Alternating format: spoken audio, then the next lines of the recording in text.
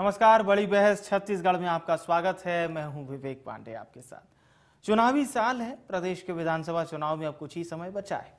ऐसे में बीजेपी और कांग्रेस दोनों ही अपने चुनावी तैयारियों में जुट गई है। दोनों पार्टियों में, यानी कि कांग्रेस और बीजेपी में चुनाव को लेकर कॉन्फिडेंस और ओवर कॉन्फिडेंस का दौर देखने को मिल रहा है। जिससे प्रदेश में सियासत भी काफ़ी तेज है। भोजपुरी सुपरस्टार और दिल्ली के बीजेपी सांसद मनोज तिवारी भाजपा की परिवर्तन यात्रा में शामिल होने रायपुर पहुँचे हुए हैं। आपको बता दें कि 2023 विधानसभा चुनाव के लिए भाजपा पूरे प्रदेश में परिवर्तन यात्रा निकाल रही है। इस परिवर्तन यात्रा में केंद्र के तमाम बड़े नेता एक एक कर छत्तीसगढ़ पहुँच रहे हैं। आम सभाओं के ज़रिए लगातार केंद्रीय नेता छत्तीसगढ़ सरकार पर बड़े आरोप लगाते नज़र आते हैं। सांसद मनोज तिवारी ने छत्तीसगढ़ सरकार को लेकर कहा कि हम किसी कार्यक्रम में देख रहे थे। मुख्यमंत्री के सामने ही किसी ने कहा कि उनका ओवर कॉन्फिडेंस ही उनका राजनीतिक एक्सीडेंट कराएगा। ओवर कॉन्फिडेंस ने ही इनको हर जगह समाप्त किया है। छत्तीसगढ़ को उसका हक मिलना चाहिए जो भाजपा दे सकती है। इधर सांसद मनोज तिवारी के बयान को लेकर खुद मुख्यमंत्री भूपेश बघेल ने जवाब देते हुए कहा कि भाजपा मान तो रही है कि छत्तीसगढ़ में कांग्रेस की स्थिति मज़बूत है भारतीय जनता पार्टी बहुत कमज़ोर है। हम ओवर कॉन्फिडेंस में नहीं है। छत्तीसगढ़ के लोगों का यह आत्मविश्वास है। छत्तीसगढ़ में फिर से कांग्रेस की सरकार आएगी। किसान, मजदूर, महिलाएँ और नौजवान ये कह रहे हैं। तो उधर उत्तर प्रदेश की कांग्रेस लगातार उधर छत्तीसगढ़ मॉडल के साथ ही कांग्रेस नज़र आ रही है। कई बड़ी योजना और सौगात जनता को दे रही है। तो आज हम भी इसी मुद्दे पर विस्तार से चर्चा करने जा रहे हैं। कुछ खास मेहमान भी हमारे साथ जुड़ेंगे। उससे पहले आपको सियासी बयानबाजियाँ सुनाते हैं।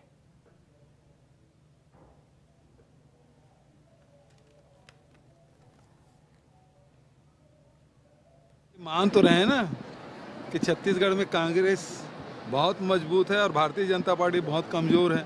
हम ओवर कॉन्फिडेंस में नहीं हैं। ये छत्तीसगढ़ के लोगों का आत्मविश्वास है। और फिर से छत्तीसगढ़ में कांग्रेस की सरकार आएगी ये किसान कर रहे हैं मजदूर कर रहे हैं महिलाएँ और नौजवान कर रहे हैं व्यापारी और उद्योगपति कर। रहे हैं छत्तीसगढ़ में फिर से कांग्रेस की सरकार।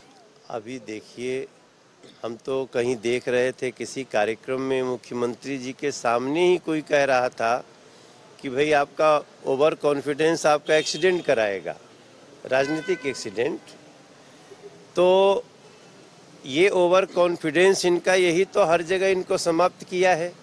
छत्तीसगढ़ को उसका हक मिलना चाहिए जो भारतीय जनता पार्टी दे सके। तो चलिए समझने की कोशिश करते हैं किसे कॉन्फिडेंस है कौन ओवर कॉन्फिडेंस में है। बात छत्तीसगढ़ की सियासत की हो रही है। दो खास मेहमान इस समय चर्चा में हमारे साथ रूपेश दुबे जी कांग्रेस पार्टी के प्रवक्ता हैं। बहुत स्वागत है। के एस चौहान जी भारतीय जनता पार्टी के प्रवक्ता हैं। आपका भी बहुत स्वागत है। और चर्चा की शुरुआत रूपेश जी आपसे क्या ओवर कॉन्फिडेंस छत्तीसगढ़ में हो गया है? बीजेपी के आरोप है लेकिन जवाब आपका होगा। नमस्कार। छत्तीसगढ़ में कांग्रेस कहीं ओवर कॉन्फिडेंस में नहीं है। ओवर कॉन्फिडेंस की बात वो व्यक्ति कर रहे हैं जिनके अध्यक्षीय कार्यकाल में दिल्ली में जिस प्रकार से इनकी दुर्गति हुई और केजरीवाल की पार्टी ने भाजपा का एक सिरे से सफाया किया एक एमपी चुनाव जीतने के बाद उन्हें राष्ट्रपति तक बना दिया गया था मनोज तिवारी जी को। और उसके बाद वो ओवर कॉन्फिडेंस में मनोज तिवारी जी और पूरी भाजपा थी। लेकिन विधानसभा चुनाव में जिस प्रकार से झाड़ू पड़ी उसके बाद इनकी ओवर कॉन्फिडेंस की बातें समाप्त हो गई और इनको ओवर कॉन्फिडेंस की बात तो करने करना भी नहीं चाहिए। देखिए मनोज तिवारी जी अपने बयानों के माध्यम से हमेशा विवादास्पद स्थिति में रहे हैं। भाजपा पार्टी ने भी इनके विवादों के बयान विवादित बयानों के कारण इन्हें अपने दिल्ली प्रदेश कांग्रेस कमेटी के अध्यक्ष पद से भी इन्हें मुक्त किया। जिस प्रकार से एक सांसद होने के बाद भी इनके बयान लगातार चाहे केजरीवाल जी के लिए हनुमान जी के खिलाफ नहीं नहीं ठीक है आप दिल्ली दिल्ली को थोड़ा शामिल ना करें बात छत्तीसगढ़ की करें। सवाल केवल एक एक छोटा सा सवाल ये है कि ठीक है आपकी लीडरशिप मज़बूत है बहुत ज़्यादा सीटों के साथ 2018 में आए सत्ता वापसी इतने ज़्यादा सीटों के साथ शायद ही आ, पिछले 20 साल के इतिहास में तो फ़िलहाल नज़र नहीं आती बाकी की डिटेल में करेंगे बात। पर एक जो सिंबल लग रहा है कि बहुत ज़्यादा आशान्वित हो गई है कांग्रेस कांग्रेस को लग रहा है कि 90 विधानसभा क्षेत्रों में 70 तो हम जीत जाएँगे 70 नहीं तो पैंसठ जीत जाएँगे। तो पिछली बार के रिकॉर्ड के आसपास भी रहेंगे तो भी बहुत है। तो कांग्रेस थोड़ा सा मान के चल रही है कि अब वो विजेता है। क्या ये बात हमें भी माननी पड़ेगी या थोड़ी सी हमारे जो कयास हैं वो कुछ अलग हैं? विवेक जी, देखिए, आप लोगों की पत्रकारिता, आप लोगों की योग्यता पर हमको टिप्पणी नहीं करना चाहते, लेकिन जिस प्रकार से छत्तीसगढ़ में कांग्रेस सरकार आने के बाद किसानों के लिए युवाओं के लिए महिलाओं के लिए और शिक्षा कर्म शिक्षित शिक्षा शासकीय सेवकों के लिए। और जिस प्रकार से सर्वहारा वर्ग के लिए कांग्रेस ने काम किया है और कांग्रेस के मंत्री कांग्रेस के विधायक भी आम जनता के बीच में कार्य करते रहे हैं और कांग्रेस का संगठनात्मक ढांचा दीपक बैठ जी के नेतृत्व में जिस प्रकार से कार्य कर रहा है और निरंतर संकल्प शिविर के माध्यम से जा रहे हैं और अन्य बूथ लेवल कमेटी की जो हम लोग मीटिंगें ले रहे हैं और उसमें सरकार की जो योजनाएँ हैं और जो लाभकारी योजनाएँ हैं जिन योजनाओं से हमने आम जनता को लाभान्वित किया है और निश्चित रूप से जब हम आम जनता के बीच योजनाओं के बारे में पता करने जा रहे हैं तो हमें अच्छा प्रतिसाद मिल रहा है और उसी कारण छत्तीसगढ़ में भरोसे की सरकार और भरोसे का सम्मेलन और दो अक्टूबर से भरोसे की यात्रा होने जा रही है। देखिए जी। लोकतंत्र में जनता जनता का निर्णय सिरोधारी होता है। लेकिन जिस प्रकार से छत्तीसगढ़ की जनता कांग्रेस सरकार की योजनाओं को आत्मसात किया है और ग्रामीण अर्थव्यवस्था मज़बूत हुई है इससे हम आसान्वित हैं कि निश्चित रूप से हमको जनता एक बार फिर से सेवा करने का मौका देगी। चलिए चौहान साहब ऐसा कांग्रेस कह रही है कि साहब बीजेपी को तो पहले से ही लग रहा है कि छत्तीसगढ़ में बहुत मज़बूत स्थिति में कांग्रेस तभी कांग्रेस तभी कांग्रेस के लिए बीजेपी की ओर से इस तरह के बयान आ रहे हैं। क्या वाकई में आप लोग मानते हैं इतना मज़बूत अवस्था में है कांग्रेस? इस समय छत्तीसगढ़ में। सीएम साहब तो यही कह रहे हैं।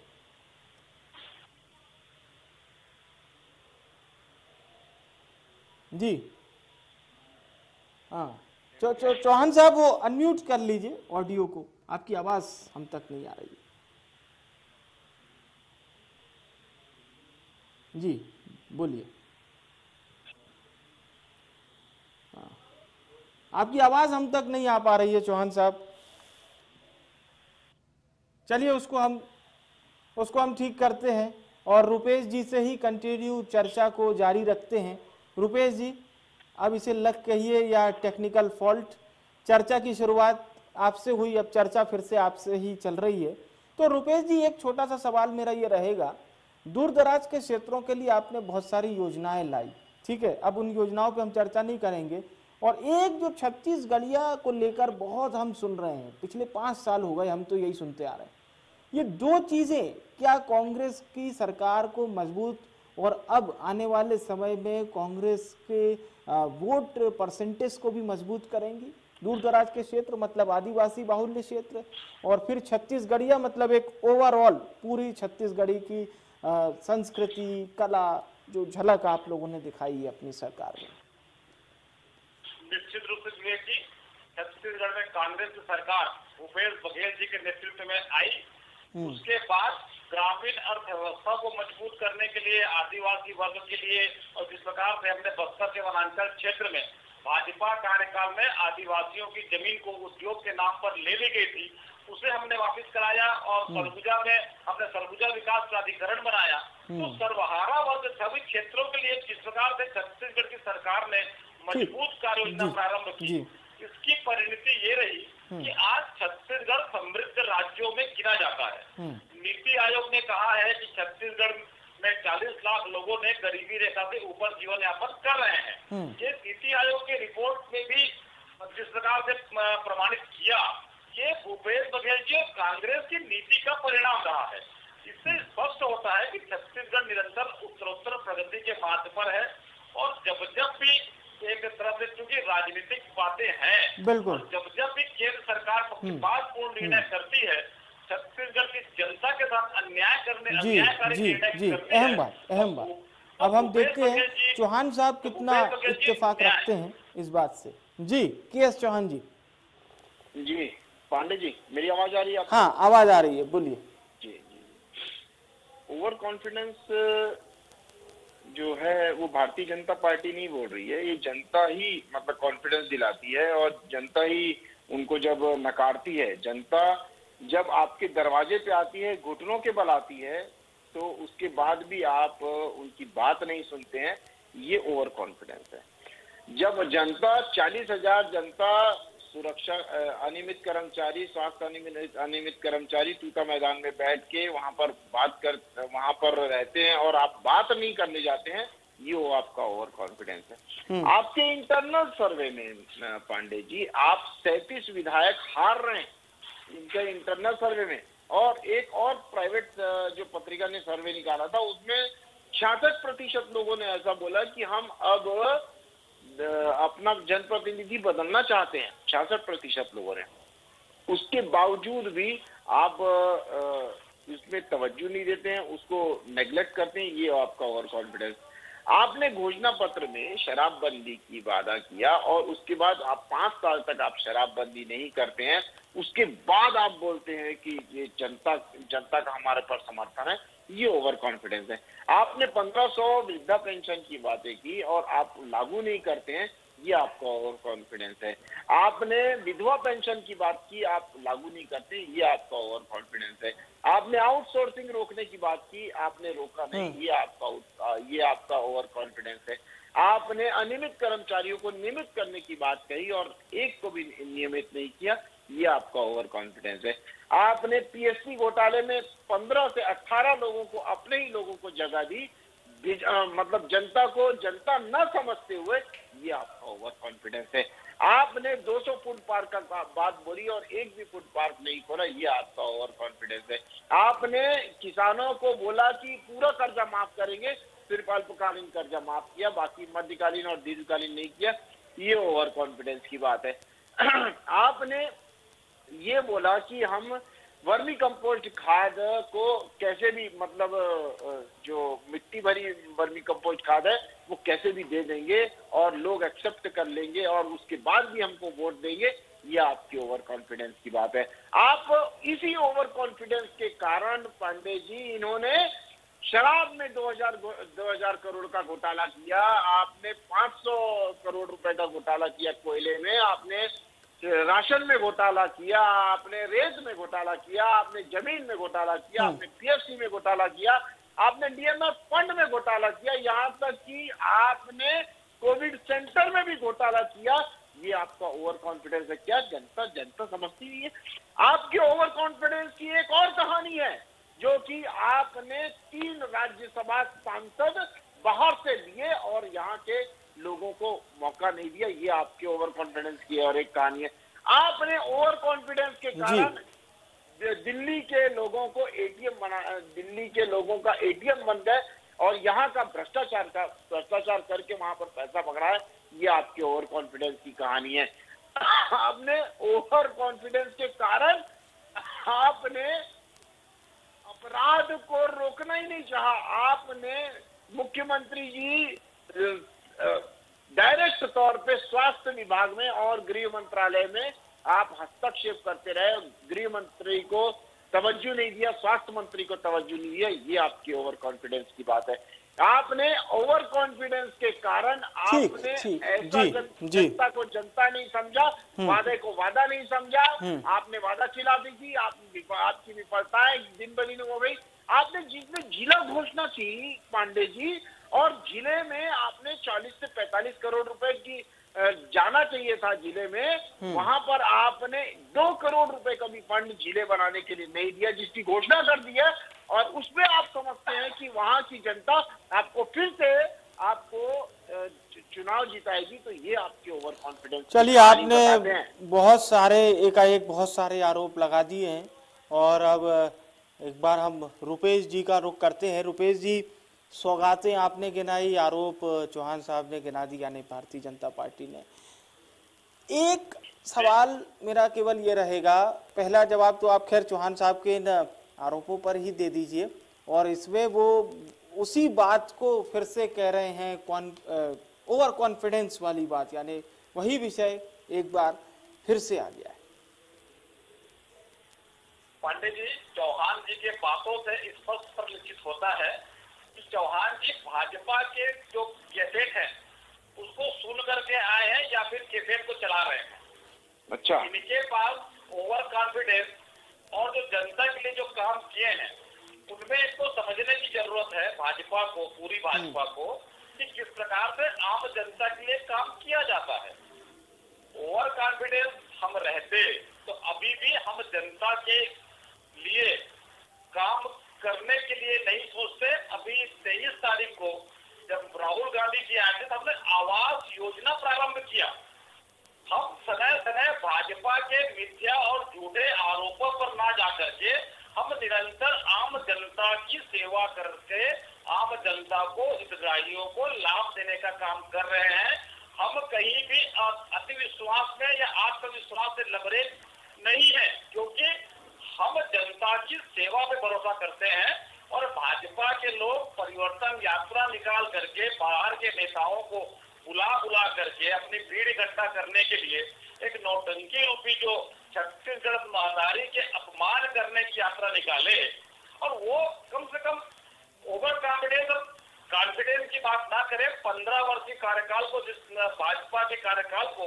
छत्तीसगढ़ की जनता ने भोगा था और जिस प्रकार से जनता ने उन्हें एक सिरे से नकार करके उन्हें अविश्वास के गर्त में डाल दिया है जिससे भाजपा विश्वास और अति विश्वास में व्याख्या करने में भी असफल है और निश्चित रूप से छत्तीसगढ़ में कांग्रेस की सरकार ने जिस प्रकार से जनहितैषी कार्य किए हैं सत्ता के लोग जाकर के आम जनता से निरंतर मिल रहे हैं हमारे क्षेत्र के जनप्रतिनिधि गण हैं वो निरंतर जनता की सेवा किए हैं और इसीलिए आज छत्तीसगढ़ में भरोसे का सम्मेलन भरोसे की सरकार भरोसे की यात्रा प्रारंभ होने जा रही है ठीक है। ये इससे भाजपा बौखलाए हुए हैं और बाहर के यहाँ के स्थानीय नेता तो कुछ बोलने की स्थिति में है नहीं इसलिए बाहर के नेताओं को बुला करके अदरकल बयानबाजी करा रहे हैं और सिर्फ़ और सिर्फ़ छत्तीसगढ़ में भी एक धार्मिक उन्माद फैलाने का वातावरण भाजपा के लोग कर रहे हैं। चलिए ठीक है। अ, चौहान साहब आपसे एक सवाल ये रहेगा कि क्या परिवर्तन यात्रा को छत्तीसगढ़ में जनता का सहयोग मिल रहा है? जनता का समर्थन मिल रहा है? पांडे जी बिल्कुल मैं आपकी बात का जवाब दूँगा। और एक क्वेश्चन मेरे अभी अभी जहन में आया कि बाहर के लोगों को हमने बुला के और छत्तीसगढ़ के नेताओं को इतने बोलने का साहस नहीं तो अभी अभी मेरे हाँ। जहन में आया हाँ। मेरे को ऐसा लगता है कि राहुल गांधी और प्रियंका गांधी और इनका मल्लिकार्जुन खड़गे जी मेरे ख्याल से यहीं पर से पैदाइश है उनकी छत्तीसगढ़ से। वो बाहर के नहीं है ये छत्तीसगढ़ से बाहर के नहीं। सुनिए सुनिए सुनिए सुनिए सुनिए सुनिए सुनिए। अच्छा सौगात देने आए वाह, वाह, वाह, वाह, अन्याय वाह, जिस वाह। नरेंद्र वाह, मोदी वाह। की सरकार ने सुनिए, आवास सुनिए। योजना का अन्याय सुनिए। किया उसके न्याय च- का च- प्रादुर्भाव च- इस मंच से चलिए। रुपेश जी रुपेश जी अभी चर्चा चर्चा बड़ी अच्छी हो रही है। आप लोग दोनों अपनी पार्टी की बात रख रहे हैं सुन लेते सौगात सौगात जो है पांडे जी इन्होंने सौगात की बात की तो राहुल गांधी जी अपने जेब से निकाल के पैसा देने आए थे सौगात सुनिए तो सुनिए ना। चौहान साहब चौहान साहब ये इस पे हम ना जाएँ। देखिए देखिए ये बहुत प्रैक्टिकल सवाल है आपको भी पता है जनता का ही पैसा होता है। थोड़ा सा मेरा जो एक छोटा सा सवाल था आप कृपया उसका जवाब परिवर्तन दें। यात्रा और रुपेश जी के जो सवाल का आपको जवाब देना था वो आप देखिए परिवर्तन यात्रा पांडे जी होता क्या है कि मुद्दे जो हैं हम्म, मुद्दे किसी यात्रा को जन्म देते हैं। हम्म। मुद्दे ही परिवर्तन को जन्म देते हैं। हम्म, और इसीलिए परिवर्तन यात्रा हो रही है। क्योंकि ये परिवर्तन कौन चाहता है? ये परिवर्तन सबसे पहले जनता चाहती है। जैसे परिवर्तन चाहती है वो यहाँ की रोडों में। परिवर्तन चाहती है जो आपने आठ लाख लोगों का घर छीना है वो घर चाहती है इसकी वजह से सरकार में परिवर्तन चाहती है। आप परिवर्तन उस ज, अ, उसमें चाहती है जो इंडस्ट्रियलाइजेशन नहीं हो पा रहा है पाँच साल में उसमें परिवर्तन चाहती है। एसीबी एंटी करप्शन ब्यूरो पिछले पाँच सालों में एक भी केस आपने होने नहीं दिया लगाम नहीं काट लगाम नहीं लगाई उसमें अ, इन- अ, अपने नौकरशाहियों में। परिवर्तन इस चीज़ के लिए चाहिए। परिवर्तन एक्चुअली जनता को चाहिए और उसका उसकी ज़ुबान बन के उसका मुख बन के भारतीय जनता पार्टी उस यात्रा को बना दी अब परिवर्तन यात्रा क्यों है? और परिवर्तन यात्रा तो एक जनता से जुड़ी हुई है और क्लियर कट मैसेज है हमारा। हमारा क्लियर कट मैसेज है कि केंद्र सरकार क्या दे रही है और राज्य सरकार ने आपको क्या नहीं दिया है जनता को जागरूक कराना ही हमारे यात्रा का हम्म। और जनता का साथ मिल रहा है उसमें? बिल्कुल हंड्रेड परसेंट मिल रहा है। आप खुद देखिए हज़ारों वीडियो आप देख लीजिए हज़ारों अखबारों में देख लीजिए। और ये जो मीडिया का जो साथ मिल रहा है और मीडिया ने जो कवरेज किया हुआ है मैं धन्यवाद देना चाहता हूँ आपके चैनल के थ्रू मीडिया को कि उन्होंने परिवर्तन यात्रा को बहुत अच्छे से दिखाया कि सच्चाई दिखाई कि कौ- कहाँ कहाँ से गुजर रही है और कितना उनको प्रतिसाद मिल रहा है। ये ये पूरी मीडिया में है। हमारे को बोलने की आवश्यकता नहीं है। मीडिया आईना है इस समाज का। दूसरी बात परिवर्तन इस वजह से चाहिए कि आप जनता को जनता नहीं समझते हैं और ये परिवर्तन यात्रा तब भी वो लाई गई थी जब 2003 में त्राही त्राही कर रही थी जनता योगी सरकार में। त्राही त्राही कर रही थी उस समय भी परिवर्तन यात्रा आई थी और उस समय जनता ने भारतीय जनता पार्टी को आशीर्वाद दिया था लगातार तीन बार आशीर्वाद दिया। ये परिवर्तन यात्रा इसलिए परिवर्तन यात्रा लोगों को जागरूक करने के लिए और लोग उससे अटैच हो रहे हैं। आप देखिए कितना माहौल बदला हुआ है। आप सोशल मीडिया उठा के देखिए आप ट्विटर हैंडल उठा के देखिए इस परिवर्तन यात्रा से सबसे बड़ा लाभ क्या हुआ है पांडे जी मानू है? अब लोग क्वेश्चन करने लग गए। अब लोग सरकारों से क्वेश्चन करते हैं कि हमारा हक कहाँ पर है? जो आपने वादे किए थे वो कहाँ पर है? जो आपने हमारा ये पैसा लिया वो कहाँ पर है? अभी धान की बात करते हैं धान की बात अभी बात करते हैं तो उसके बाद परिवर्तन यात्रा के बाद लोगों को और क्लियर हुआ जागरूक हुए कि 80 प्रतिशत पैसा तो केंद्र सरकार दे रही है तो आप अपने सर, सर पे सहरा क्यों मान रहे हैं? ये मैं नहीं कहता हूँ। सदन में जब पूछा गया और महंत जी से तो महंत जी ने ये जवाब दिया कि इक्यावन हज़ार करोड़ रुपया केंद्र ने दिया है और ग्यारह हज़ार करोड़ रुपया अभी तक के भुगतान में जी राज्य सरकार ने दिया धान के लिए। जी। चलिए तो अब समय की भी एक निश्चित अवधि होती है। बहुत बहुत शुक्रिया रुपेश दुबे जी आपका के एस चौहान जी आपका। आप दोनों मेहमानों का हमारे साथ चर्चा में जुड़ने के लिए धन्यवाद। भारतीय जनता पार्टी की परिवर्तन यात्रा और कांग्रेस पार्टी की सौगातें जिस पर हम बात कर रहे थे छत्तीसगढ़ जहाँ पर 2018 के चुनाव में भूपेश बघेल और टी एस सिंहदेव चरणदास महंत ताम्रध्वज साहू ये चार बड़े सेनापति थे उस समय कांग्रेस के, जिन्होंने कांग्रेस की वापसी कराई, सत्ता वापसी 2018 में। और कांग्रेस में फिर भूपेश बघेल मुख्यमंत्री बने।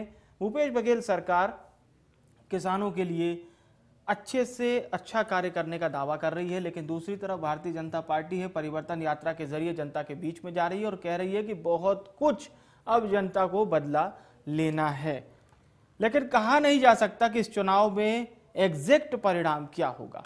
बड़ी बहस में फ़िलहाल के लिए इतना ही। मुझे आने विवेक को दीजिए इजाज़त। नमस्कार।